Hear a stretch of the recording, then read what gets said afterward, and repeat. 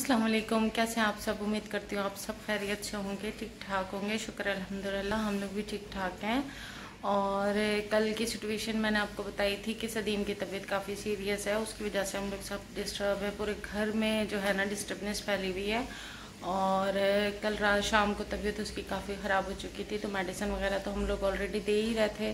तो हम आज डॉक्टर के पास जा रहे हैं, रात को हम लोगों ने टेस्ट करा लिया था, सारे टेस्ट मलेरिया डेंगू वगैरह से रिपोर्ट्स अब आ चुकी है सुबह दस बजे और हम लोग जो है ना अभी इसको ले के ना तबीयत इसकी बहुत सीरियस हो गई है, काफ़ी ख़राब हो चुकी है।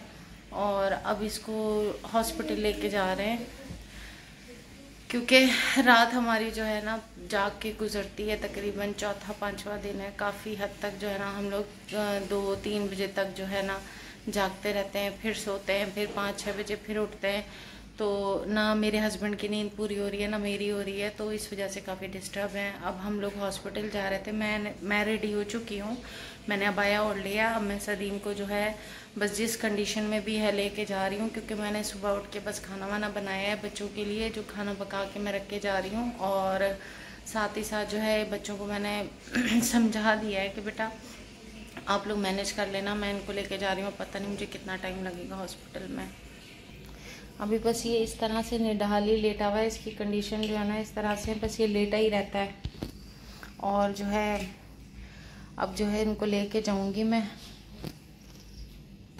अच्छा फासिया बेटा, अपना ख्याल रखना, बहन भाइयों का भी अंदर से कुंडी लगा के बैठ जाओ, ठीक है बेटा? और पानी की बोतल मुझे दे दो।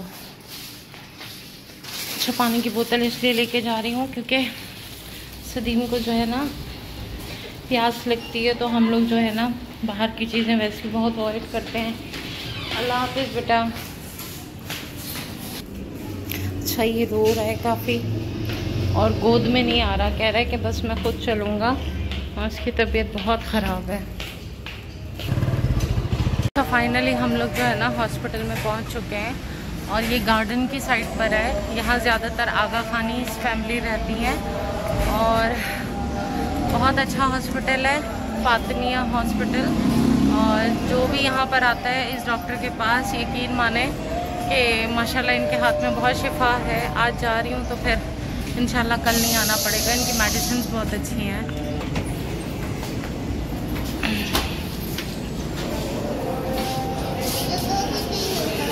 चलो आओ, इधर आ जाओ।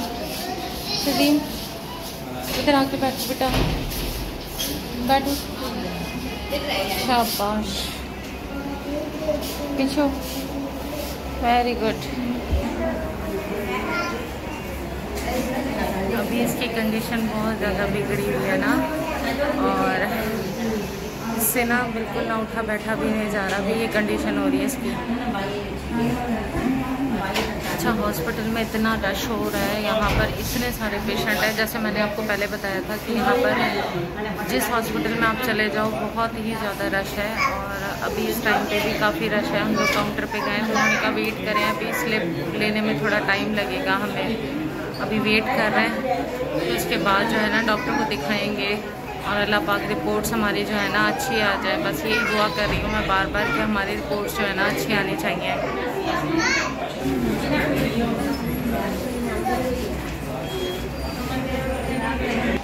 अच्छा यहाँ रश होने की वजह से काफ़ी सारे जो लोग हैं काफ़ी डिस्टर्ब हो रहे हैं और यहाँ पर जो है, ज़्यादातर बच्चों का प्रॉब्लम चल रहा है। बच्चों को फीवर भी है और साथ ही साथ क्या कहते हैं पेरेंट्स बहुत ज़्यादा यहाँ पर डिस्टर्ब हैं।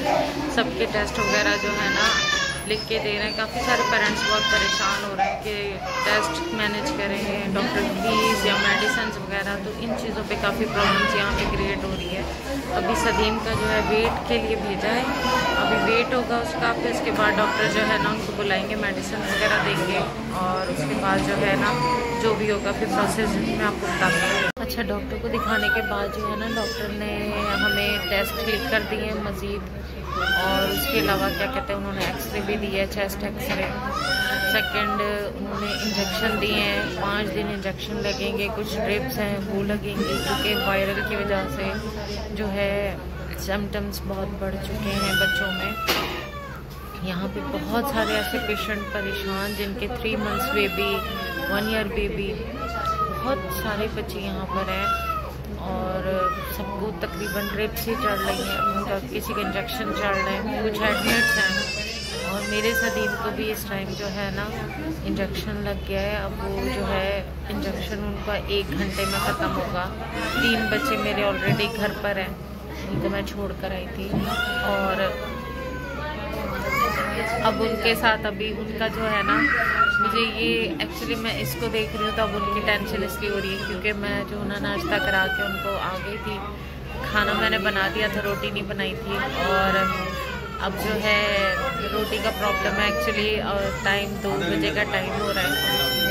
घर जाऊँगी कब कुछ नहीं पता, अभी तक आइडिया कुछ भी नहीं अभी इसका तो ये है कि इसका पूरा एक घंटा लगेगा इसको, और इसका इंजेक्शन एक घंटे के बाद ख़त्म होगा, और पाँच दिन हमें जो है इसको आके लगवाना है, और देखते हैं आगे क्या होता है। ये देखें, इसके हाथ का इंजेक्शन लग चुका है, और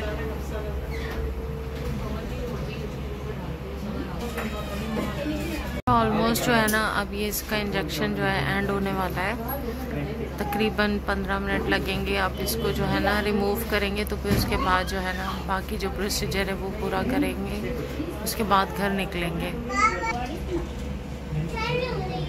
अच्छा अभी हम लोग जो है ना एक्सरे वगैरह करवाने के लिए आए हैं। स्लिप बनवा लिए और अब जो है ना एक्सरे रूम में हस्बैंड लेके जाएँगे, सलीम को। सलीम एक्सरे हो गए आपके? हाँ? हो गए एक्सरे चलो। चलो अब यहाँ पे लेबॉर्ट्री चलो बेटा। अच्छा सदीम ने ना कुछ खाया नहीं है कुछ नाश्ता सही से नहीं किया। अभी मैं कैंटीन जा रही हूँ। और अभी कैंटीन से कुछ ले के ना इसको खिलाऊँगी। क्योंकि काफ़ी प्यास भी लग रही है और काफ़ी धूप भी है यहाँ पर। खा लो हाँ अच्छा इस कैंटीन में ना इतना फ्रेश चीज़ें होती हैं। मैंने एक बेटीज़ खाया और इसमें जो है केक खाया है मगर थोड़ा सा खाया है। अब हम टेस्ट करवाने जा रहे हैं। एक्सप्रेस का हो चुका है। अब हम लोग घर को रवाना हो रहे हैं। सारा प्रोसेस हो गया है अब हमारा ना। अब हम लोग घर को रवाना निकलेंगे बस। और सदीम फिर से रो रहा है क्योंकि इसका फिर से टेस्ट हुआ है। अब दोबारा से ना। तो बस अभी निकल रहे हैं। जी तो हॉस्पिटल से आने के बाद मेरे पास बिल्कुल भी इस तरह का टाइम नहीं था कि मैं कुछ भी शेयर कर पाती, क्योंकि बस बच्चों की बहुत ज़्यादा फ़िक्र थी। आती मैंने बच्चों को खाना वाना खिलाया। है खाना वाना खिलाने के बाद जो है, बस, मैं जो सदीम को मेडिसिन वगैरह दी, सदीम को मेडिसिन देने के बाद जो उसको सुलाने के घर के काम शुरू कर दिए। नॉर्मली जो घर के काम छोड़ कर गई थी, क्योंकि मैंने सिर्फ़ खाना बनाया था। खाना बनाने के बाद कुछ भी काम नहीं किया था। आके काम किया। अभी रात के आठ बजे का टाइम हो रहा है। आप लोगों से गुजारिश है कि आप लोग भी दुआ कीजिएगा। और अल्लाह पाक सबकी परेशानी को दूर अता फरमाए।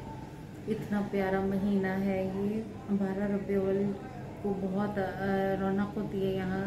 और अल्लाह पाक जो है हमारे प्यारे नबी वसल्लम के सदक़े हम सब गुनाहगारों को बख्श दें यही दुआ मांगती हूँ। और क्या कहते हैं, मासूम बच्चे जितने भी मैं देख कर आई हूँ, मैं बहुत डिसार्ट हुई हूँ। और वहाँ से आने के बाद भी थोड़ा सा मुझे जो है ना, बस दिल में एक खलल था कि क्या कहते हैं, बच्चे बीमार ना हो, बस बच्चे बीमार नहीं होने चाहिए। क्योंकि पेरेंट्स जो होते हैं ना, वो खुद मैनेज कर लेते हैं किसी ना किसी तरीके से। बच्चे जब डिस्टर्ब होते हैं तो पूरा घर डिस्टर्ब हो रहा होता है। इस टाइम मेरा घर भी बहुत डिस्टर्ब है। और अगर मेरी वीडियो पसंद आए तो प्लीज़ लाइक कर दीजिएगा शेयर कर दें सब्सक्राइब कर दें। और सबको जो है ना, यही बोलूँगी मैं लास्ट में। और जिन्होंने मुझे सब्सक्राइब किया है, और उन सब का मैं बहुत बहुत तह दिल से शुक्रिया करती हूँ। क्योंकि मुझे इस काबिल उन्होंने समझा और उन्होंने मुझे सब्सक्राइब किया है। Thank you so much